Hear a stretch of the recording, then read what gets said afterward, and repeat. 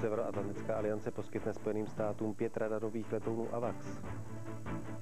Česká armádní polní nemocnice je ode dneška připravena k okamžitému nasazení.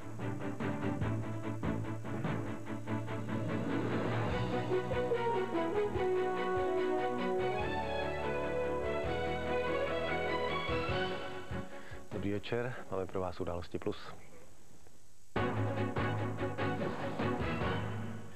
Spojené státy pokračují v ostřelování vojenských cílů v Afghánistánu. Proti prvním zprávám, a na rozdíl od včerejška, se ale dnešních úderů neúčastní Velká Británie.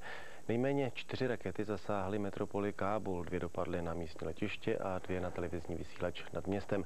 Americké bombardéry ale ničí strategické cíle po celém území Afghánistánu. Včerejší úder, zaměřený na protileteckou obranu, vojenská letiště a základny teroristů, byl podle spojenců úspěšný. Nyní se američané chtějí soustředit na komunikační prostředky a velitelská stanoviště Talibanu. Už druhá noc za sebou začala pro obyvatele Kábulu duněním leteckých motorů na noční obloze.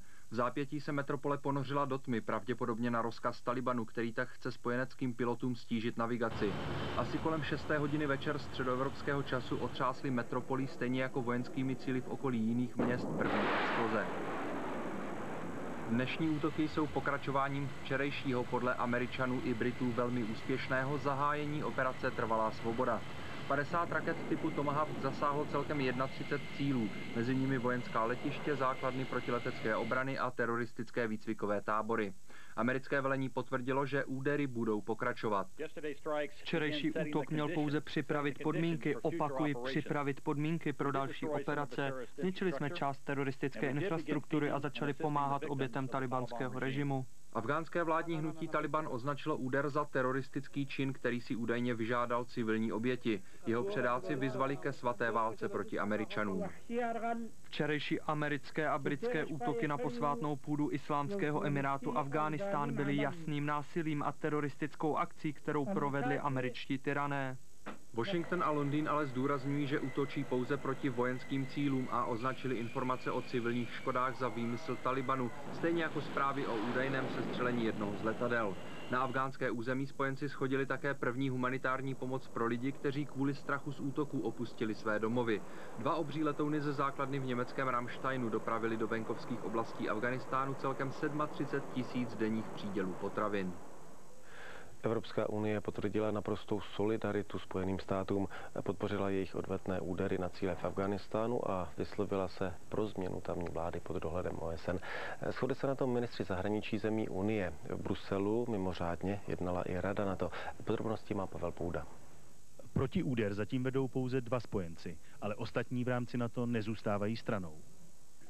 Pět aliančních letounů EVEX, včetně posádek, se přesune do USA, aby se podíleli na operaci proti terorismu. Celkem má aliance k dispozici 17 těchto letadel včasné výstrahy, ale jen 8 z nich je v operační pohotovosti. A více než polovinu teď dostanou k dispozici Spojené státy. Budeme zaskakovat za Američany, naplníme to, co oni tam budou potřebovat, co oni potřebují nad svým vlastním územím. Evexi na to tak uvolní Pentagonu ruce, nejpozději do 48 hodin. Zároveň dnes spojenci zahájili přesun své společné flotily z Majorky do východního středomoří.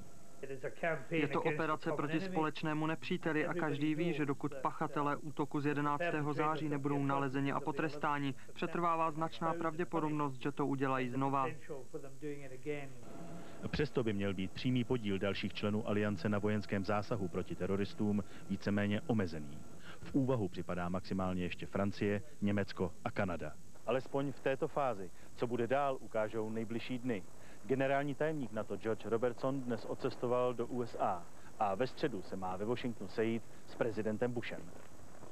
Česká armádní polní nemocnice je ode dneška připravena k okamžitému nasazení kdekoliv v místě vojenských operací. Ústřední zdravotnická základna v Bystřici pod Hostýnem dodala do nemocnice 65 tun zdravotnického materiálu.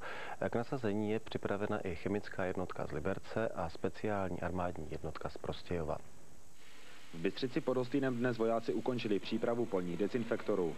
Ty byly naposledy nasazeny do akce před deseti lety během vojenské operace Pouštní bouře v oblasti Perského zálivu. Výhodou dezinfektoru je jeho odolnost i vůči chemickým a biologickým zbraním.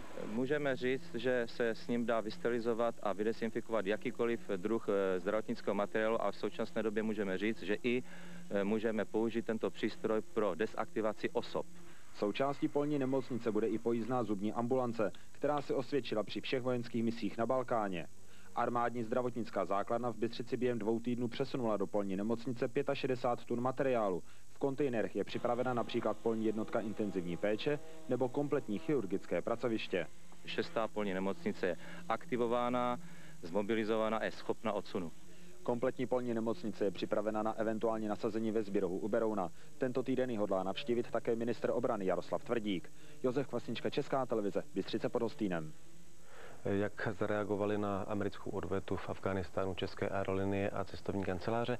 ČSA žádný ze svých pravidelných letů nezrušili. Zájezdy neruší ani cestovní kanceláře.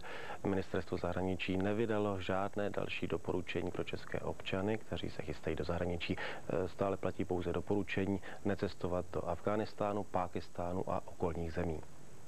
České aerolinie do oblasti, kde probíhá válečný konflikt, nelétají, žádné lety tedy neruší.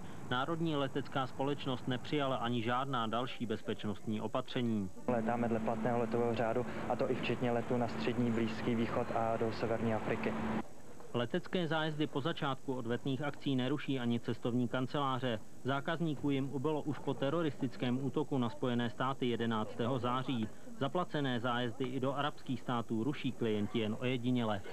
Nadále trvá to, že určitá část klientů má trošku obavy s cestováním a vyčkává s rezervacemi nových zájezdů do doby, než se věc úplně vyjasní.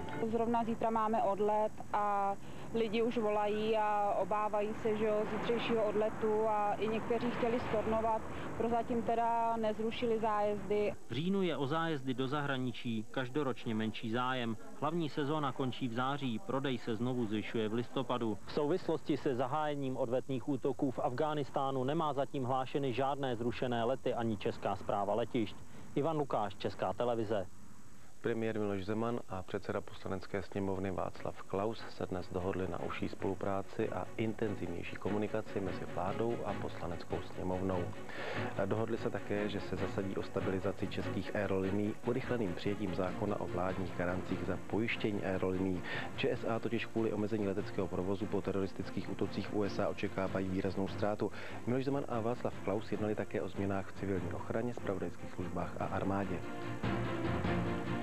Česká armáda nasadila k ochraně atomové elektrárny Dukovany ještě dva vrtulníky. Jak státní orgány, tak místní samozprávy se ale nedomnívají, že by se bezpečnostní situace v České republice zhoršila. Bezpečnostní informační služba nemá informace, že by v České republice aktuálně hrozil teroristický útok.